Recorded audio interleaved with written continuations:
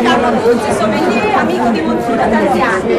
Una domanda Carlo, da dove nasce la tua passione per il vino? Beh, nasce dalla televisione, come ti dicevo, nel senso che eh, ho visto televisione, si faceva sommelier, quindi degustavi i vini, assaggiava, provava, cioè di profumi, e io ho detto, ma strano, questi profumi del vino.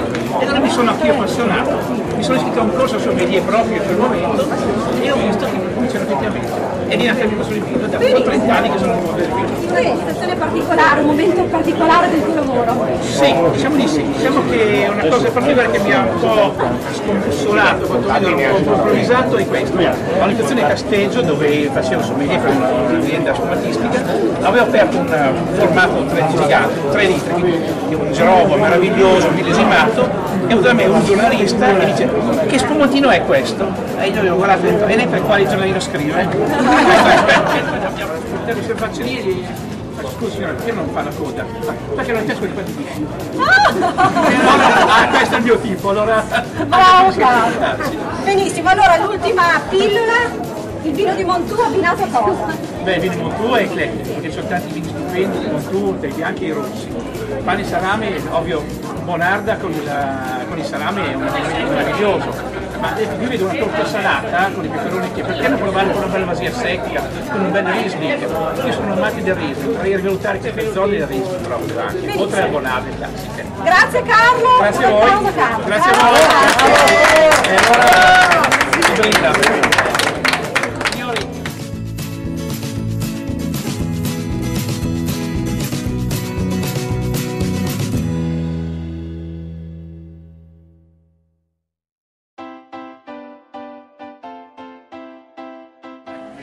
Allora buongiorno, siamo con il signor Desiderio che arriva direttamente da Armio Vettasca, vicino al Lago Maggiore. Bene, sopra il Lago Maggiore. Dunque, volevamo chiederle qualche tipicità, insomma, un po' della storia del suo caseificio. Perché la storia del mio caseificio è la storia un po' della mia azienda. La mia azienda si trova a mille metri all'estremo nord della provincia di Varese, eh, praticamente nella zona eh, circostante alla Svizzera, siamo proprio al confine con la Svizzera. Le nostre capre praticamente vanno a pascolare più in Svizzera che in Italia.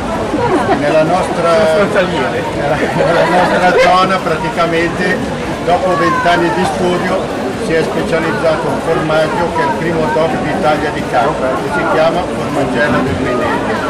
Eh, c'è stato un lungo studio, c'è stata la ricerca storica, sono, state studiate tutte le essenze che compongono quel formaggio qua, infatti deve essere fatto con gli animali al pascolo che producono le essenze spontanee dal nocciolo, all'uovo,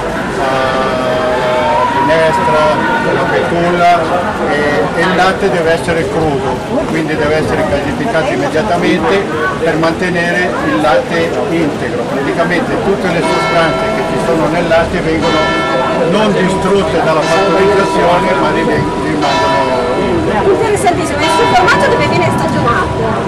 Praticamente viene stagionato, il disciplinare dice da 20 giorni a 60 giorni.